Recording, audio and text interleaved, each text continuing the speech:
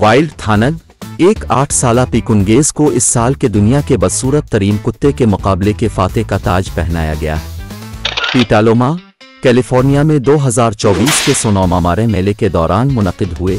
इस साल के मुकाबले में नौ दवेदार शामिल थे, ज़्यादातर बचाए गए जो अपने हमेशा के लिए खानदानों को तलाश करने से पहले पनागाहों से आए थे। कोस बे ओरेगोन से ताल्लुक रखने वाले वाइल्ड थानग ने गुजश्ता दुनिया के बदसूरत कुत्ते के मुकाबलों में पाँच बार हिस्सा लिया है, लेकिन ये उनकी पहली जीत है।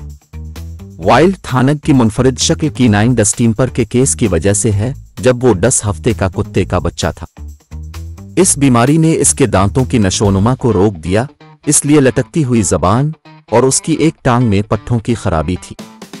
इसकी वेबसाइट के मुताबिक दुनिया का बदसूरत कुत्ते का मुकाबला तकरीबन 50 सालों से मुनद किया जा रहा है और उन खामियों का जश्न मनाया जाता है, जो तमाम कुत्तों को खास और मुनफरद बनाती है। वाइल्ड थानग और उसके मालिक एन लेविस पाँच हज़ार डॉलर्स और एनबीसी के द टुडे शो में वसूल करेंगे।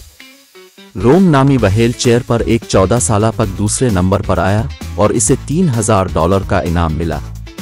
ये मुकाबला में रोम की पहली एंट्री थी।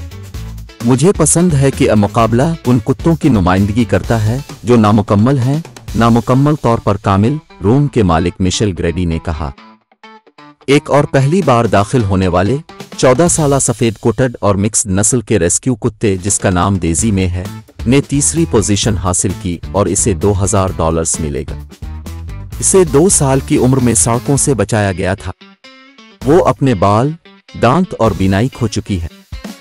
डेजी मै की मालिक एलिजाबेथ व्हाइट हाउस ने कहा कि पोडियम पोजीशन लेना हैरान कुन था। मैंने सोचा था कि वो सबसे खूबसूरत बदसूरत कुत्ता होगा, लेकिन जैसा कि पता चला, दूसरे लोग इसमें वो खूबसूरती नहीं देखते जो मैं करती हूँ, इसने कहा। अवामी चौवाइस अवार्ड हासिल करने के लिए एक खसूसी कुत्ते को मुंतखब करने के लिए, शायकीन के लिए ऑनलाइन वोटिंग भी खुली थी, जो कि जजिस के रनर अप रोम को गया था। सालाना मुकाबला तमाम जानवरों को गोद लेने की अहमियत पर ज़ोर देता है।